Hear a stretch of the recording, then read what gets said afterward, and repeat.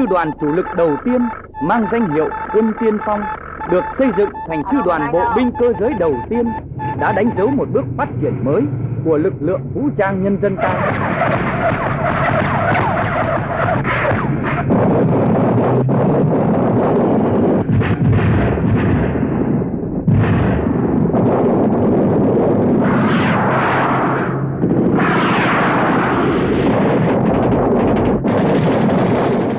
Cuộc kháng chiến chống thực dân Pháp do Bác Hồ và Trung ương Đảng lãnh đạo đã phát triển từ chiến tranh du kích lên tác chiến vận động lớn, đòi hỏi phải xây dựng những đơn vị tập trung lớn, trong đó có đại đoàn chủ lực làm lực lượng cơ động cho Bộ Tổng Chỉ huy.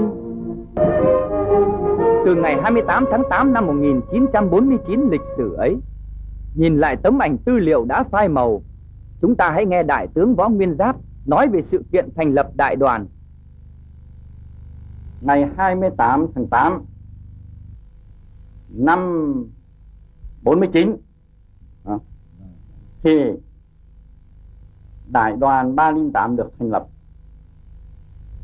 được tặng danh hiệu là đại đoàn quân tiên phong.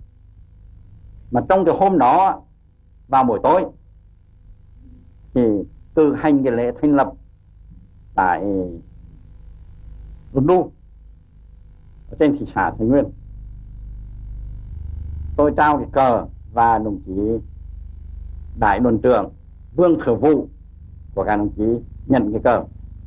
Và tôi đọc một cái nhật lệnh là cái nhiệm vụ của đại đoàn quân tiên phong là luôn luôn đi đầu trên con đường chính quy hóa quân đội nhân dân, trên con đường tiêu diệt quân địch.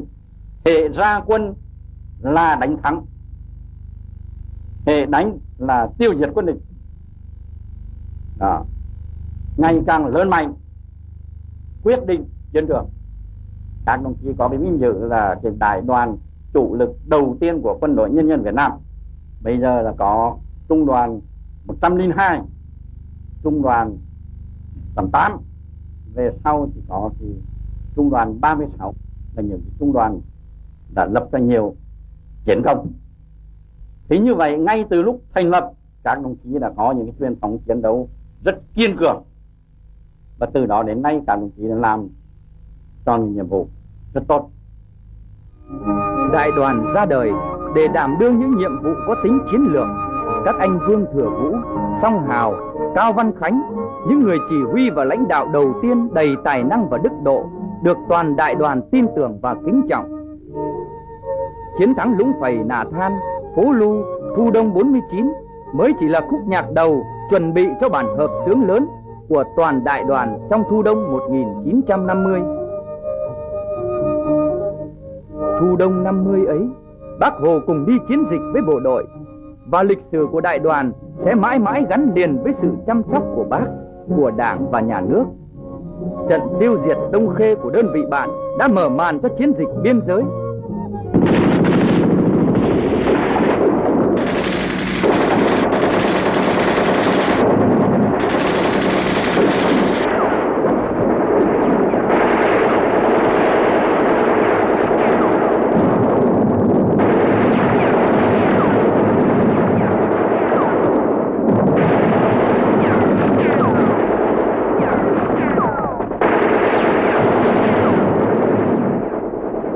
Đến trận ác chiến cuối cùng tại dãy núi Cốc Xá trên cao điểm 477 thì cả tướng lẫn quân đều bị bắt sống.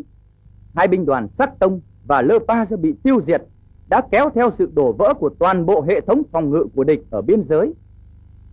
Lần đầu tiên, toàn đại đoàn gia quân đã giành được một chiến thắng hết sức to lớn. Căn cứ địa Việt Bắc được mở rộng và nối liền với một hậu phương bao la.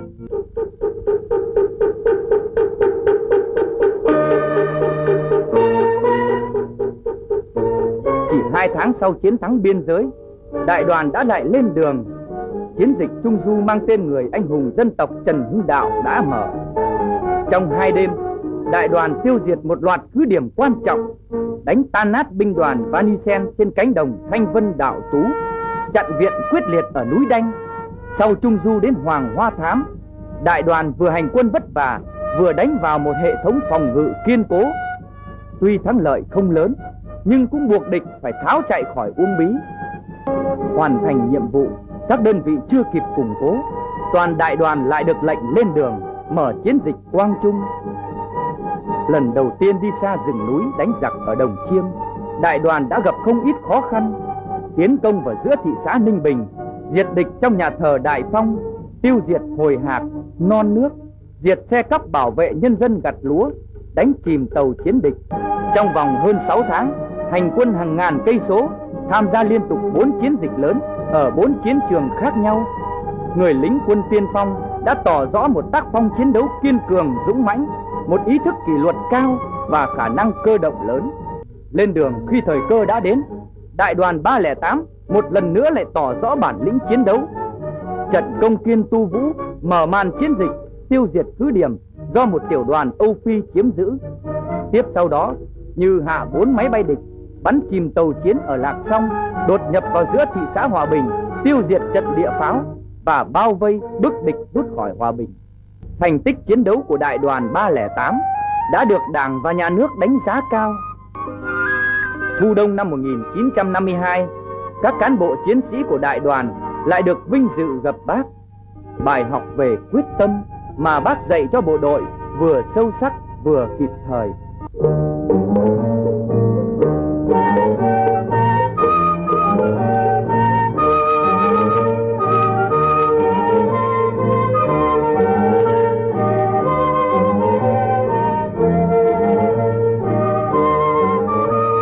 Chiến dịch, Trung đoàn trưởng Vũ Yên đã rửa được mối hận đồn pheo bằng một trận công kiên xuất sắc.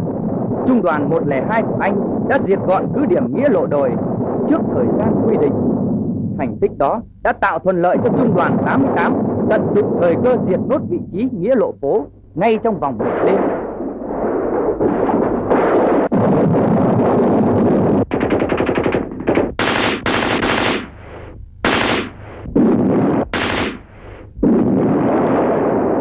Đêm hôm sau, đến lượt trung đoàn 36 thanh toán gọn ghẽ đồn cửa nhì.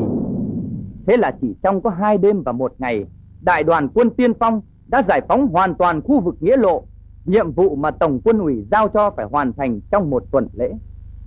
Choáng váng trước thất bại đau đớn và bất ngờ, giặc Pháp liều lĩnh đem quân thọc sâu vào vùng hậu phương Phú Thọ, hỏng gỡ thế bí, đỡ đòn cho Tây Bắc. Nhưng đó chỉ là một phản ứng tuyệt vọng. Chúng không ngờ rằng một bộ phận của cái đại đoàn thép ấy, trung đoàn 36, đang cấp tốc trở lại sông Lô. Xâm phạm đến hậu phương chúng ta, kẻ địch đã được một bài học nhớ đời ở chân mộng, chạm thản. 44 xe tăng và cơ giới bị phá hủy, cùng với trên 400 tên giặc đã bỏ xác trên đường số 2. Xuân hè 1953, đại đoàn 308 cùng với một số đơn vị bạn được cử đi làm nhiệm vụ quốc tế, phối hợp với quân giải phóng Lào mở chiến dịch Thượng Lào. Cả chiến dịch là một cuộc truy kích dài ngày hàng trăm km, giải phóng toàn bộ tỉnh Sầm Nưa. Từ đây, Sầm Nưa đã trở thành căn cứ địa vững chắc của cách mạng Lào cho đến ngày toàn thắng.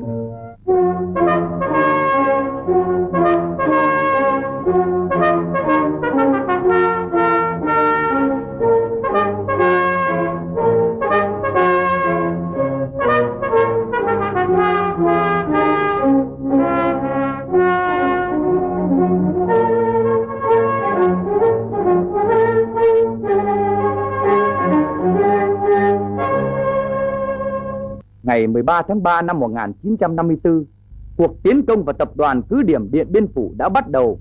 Đại đoàn 308 phụ trách xây dựng toàn bộ trận địa tiến công phía Tây. Từ trên cao, máy bay địch có thể nhìn thấy chiến hào của ta như trong lòng bàn tay. Trước nguy cơ bị cái thòng lọng trận địa vây lấn ngày càng thắt chặt thêm mà không gì ngăn cản nổi. Kẻ địch ngày đêm điên cuồng phản kích, rút bom đạn liên tiếp xuống trận địa ta. Trong những trận phản kích ấy đã nổi lên những hình ảnh đẹp đẽ của lớp người trẻ Điện Biên.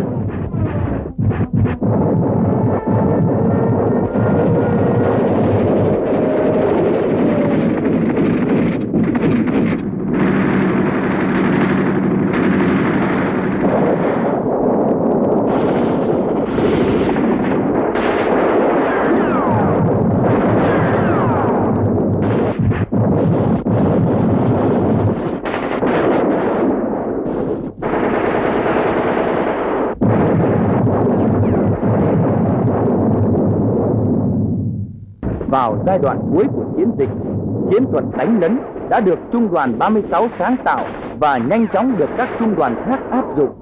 Đó là cách đánh đào hầm xuyên dưới hàng rào chướng ngại rồi xông lên xung phong trong lòng cứ điểm. Cứ điểm 206 bị diệt gọn ghẽ bằng đánh lấn. Tiếp sau là các vị trí 311A, 311B và nà nọ. Cứ điểm cuối cùng phía Tây bị san bằng. Ngày hôm sau là ngày thứ 56, ngày cuối cùng của chiến dịch Điện Biên lịch sử.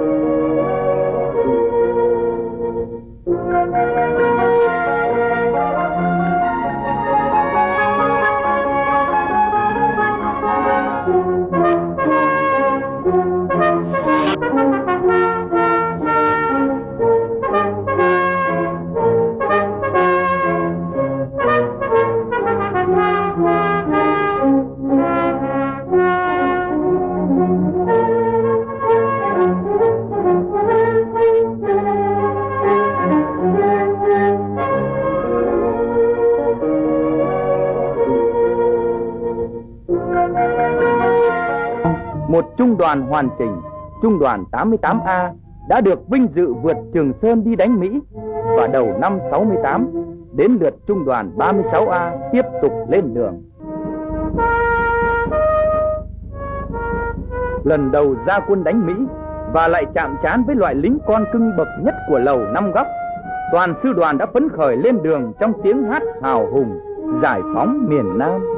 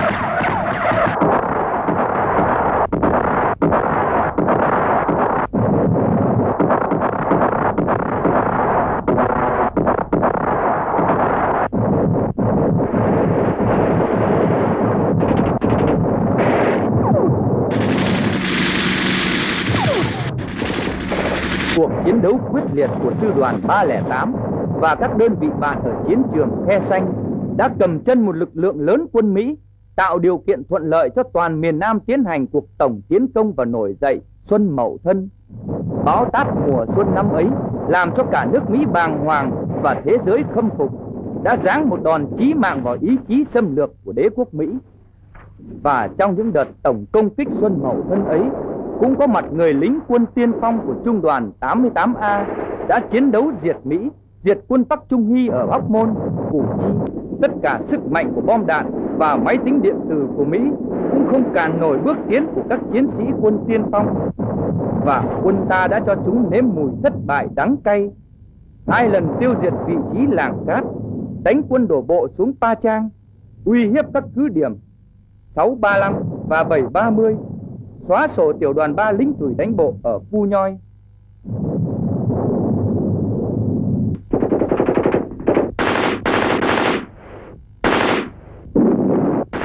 Bị đánh đau cả trước mặt lẫn sau lưng, tướng Mỹ Abraham không còn cách nào khác là phải bỏ khe xanh, rút chạy về cứu nguy cho các vùng đô thị. Đầu năm 71, thực hiện chiến lược Việt Nam hóa, Mỹ và ngụy quyền Sài Gòn mở cuộc hành quân Nam Sơn 719 với âm mưu chiếm đóng khu vực đường 9 Nam Lào, hòng chặt đứt đường mòn Hồ Chí Minh. Nhất thiết phải đánh thắng trận này, đó là chỉ thị của Bộ Chính trị. Nhất thiết phải đánh thắng, đó cũng là truyền thống của sư đoàn.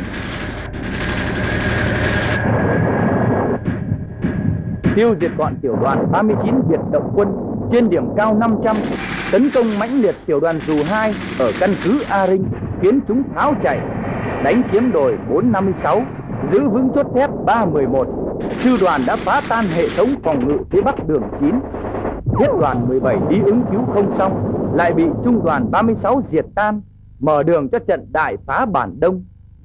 Và đường Trường Sơn, con đường mang tên bác, vẫn quật cường sống động, không ngừng tấp nập hoạt động ngày đêm. Thế hệ chiến sĩ quân tiên phong thời chống Mỹ đã tỏ ra là những người kế tục xứng đáng, phất cao lá cờ vẻ vang của sư đoàn. Người dân Đông Hà mãi mãi không quên những chiến sĩ đã trực tiếp lập nên công lao to lớn ấy đó là sư đoàn 308 đó là lần đầu tiên trong lịch sử sư đoàn và cũng là lần đầu tiên trong thời chống Mỹ ta dùng một sư đoàn tăng cường tiến công giải phóng một thị xã mà thực chất là một cụm cứ điểm với lực lượng chiếm đóng tương đương một sư đoàn và được yểm hộ tối đa bằng các lực lượng không quân và pháo hạm của Mỹ. Hơn 20 ngày đêm, mảnh đất Đông Hà trải qua bao lần giành đi chiếm lại quanh khu vực thôn Tây Trì, những điểm cao 30, 32, 35 và nhà tám mái. Vào những thời điểm khó khăn ấy, truyền thống của sư đoàn đã là một nguồn sức mạnh cổ vũ cán bộ và chiến sĩ tìm ra những cách đánh hiệu quả nhất. Địch đưa xe tăng thiết giáp, áp dụng chiến thuật phòng ngự cơ động, ngày chốt giữ, đêm di chuyển. Ta phát động phong trào săn xe tăng. Đông Hà giải phóng, sư đoàn 308 còn chiến đấu liên tục gần 5 tháng trời ở phía nam sông Thạch Hãn, tiến công, chốt giữ, tập kích, phản kích ở La Vang, Tích Tường, Như Lệ, giữ vững vùng giải phóng Quảng Trị.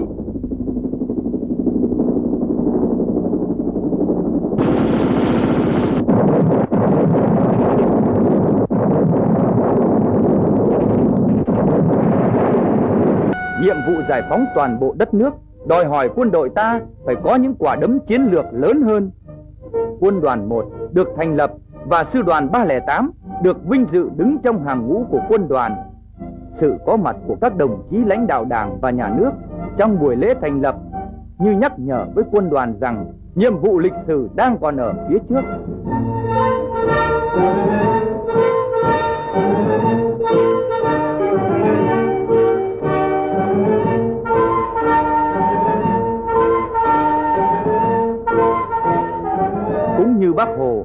Bác Tôn Đức Thắng, vị chủ tịch nước kính mến đã dành nhiều tình cảm và sự quan tâm chăm sóc đến mỗi bước trưởng thành của sư đoàn. Qua Bắc Tôn, hình ảnh miền Nam đang rục rã người lính quân tiên phong. Mùa xuân năm 1975, quyết tâm của Bộ Chính trị đã biến thành quyết tâm của toàn quân, toàn dân. Sau chiến thắng Buôn Mê Thuột, ngụy quân ngụy quyền Sài Gòn đã bị suy sụp nặng. Thời cơ giải phóng hoàn toàn miền Nam đã đến. Mỗi ngày thêm một vùng đất được giải phóng. Tin chiến thắng náo nức lòng người. Sư đoàn 308 được lệnh lên đường, sẵn sàng đón nhận nhiệm vụ mới.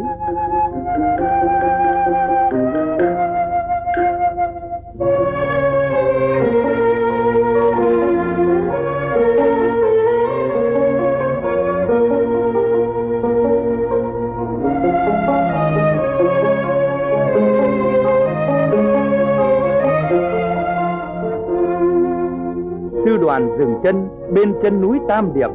Chính tại địa điểm này, ngót 200 năm trước, người anh hùng áo vải Quang Trung đã dùng làm căn cứ xuất phát cho cuộc tiến công thần tốc tiêu diệt hơn 20 vạn quân xâm lược mãn thanh, giải phóng hoàn toàn tổ quốc. Phải chăng ngày nay lịch sử lại có sự trùng hợp mà người lính của sư đoàn quân tiên phong đang náo nức mong chờ? Lúc này bộ đội ta đang tiến quân như vũ bão, đã đến lượt Đà Nẵng, căn cứ quân sự lớn nhất được giải phóng.